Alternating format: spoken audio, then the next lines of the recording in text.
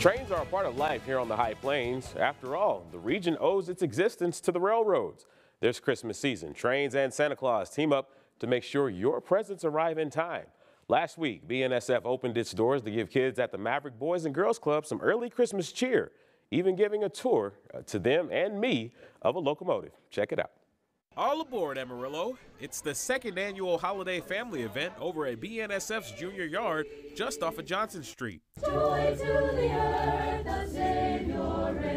BNSF partnered with the Maverick Boys and Girls Club to load up on the fun. Got about 140 kids here and uh, just fed some, fed them some food, some snacks. We've got a lot of activities. We've got some basketball hoops over here. Um, we've got Christmas lights around the, the whole facilities and just having a lot of fun. Justin G is the superintendent for BNSF's Amarillo Terminal and a fourth generation railroader.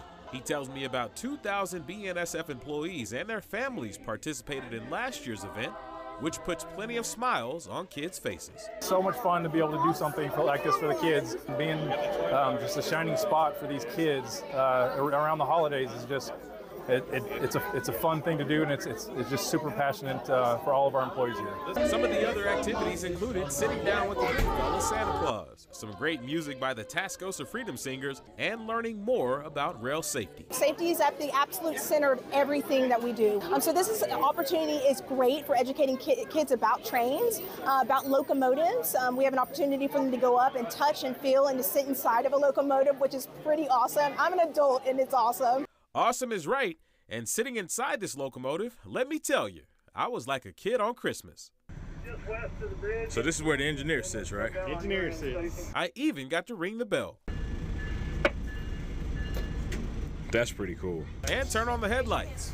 I always wanted to sit in this seat, man. We learned about the throttle, which gives the engine the power to pull the train. A throttle to a locomotive is like a gas pedal to a car. We learned about the different braking systems, like the independent brake and the dynamic brake. The engineer operates the train safely from point A to point B. This is the uh, this is the radio, right? Yeah, we're listening to I'm listening to the yard right now. There's a Denver train landing, trying to get to the roundhouse. This is the conductor side.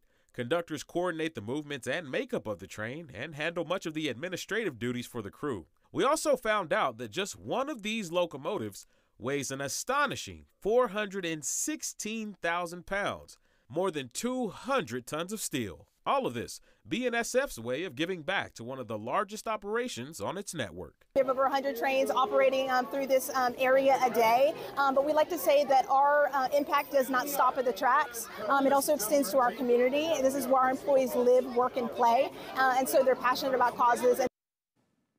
And BNSF tells us this is one, just one of the many ways its Amarillo employees puts their time, money, and resources into causes they're passionate about.